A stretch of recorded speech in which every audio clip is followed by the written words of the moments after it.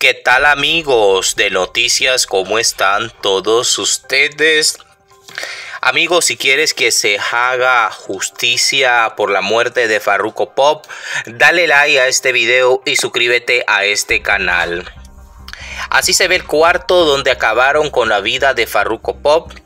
Eh, amigos, las imágenes que estamos mostrando eh, la sacamos por un periodista que recientemente anduvo en, el, en la zona 18 y son imágenes que ellos no quisieron mostrar a la televisión, amigos noticias, porque sabemos que ahora en día la televisión, los, los noticieros la ven muchos niños, entonces ellos no quisieron mostrar este lado de la pared con sangre, por eso nosotros amigos noticias, esta información la hemos traído de Google, que salen varias imágenes eh, de las paredes con sangre donde acabaron con la vida de Farruko Pop se sabe que Farruko Pop fue invitado a una cancha de fútbol por una supuestamente una amiga que supuestamente tenía iban a ver un romance ese día.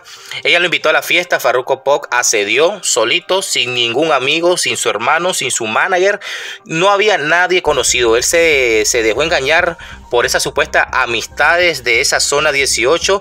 Cuando él entra al barrio, amigo noticias, sabemos que ahí era un barrio todo turbio, todo peligroso está la fiesta, amigo noticias, y miramos que a Farruko Pop unos hombres se lo llevan ya al fondo. Ustedes saben que ya al fondo había una casa donde miramos que Farruko Pop fue ultimado. Ahí a Farruko Pop los hombres comenzaron a golpearlo y le estrellaron su cabecita, amigo noticia, contra una pared donde miramos que ahí se riega la sangre. Sabe que él pedía gritos y ayudas que lo dejaran ir. En ese momento le quitaron teléfono, le quitaron dinero, le quitaron la ropa, amigo noticias, y así accedieron hasta, en pocas palabras, lincharlo y después enterrarlo ya casi agonizando. Se dice que Farruko Po fue enterrado hasta vivo, pero con muchos golpes que ya me noticia, como repito, ya estaba como casi en las últimas.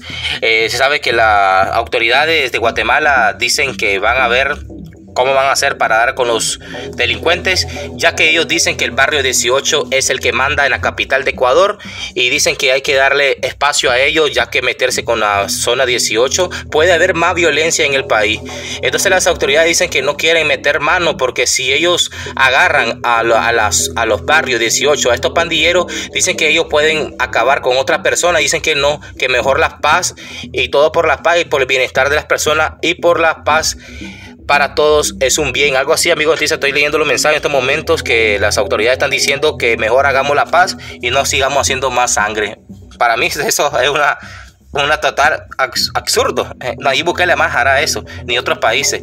Ni otros países, amigos, nos dicen que lo, que lo cachan como malos países. No, otros países están mejor que Guatemala, mil veces mejor, amigos. ¿Qué ven ustedes? La información que les tengo, se entérate con Víctor. Nosotros nos vemos hasta en el próximo video.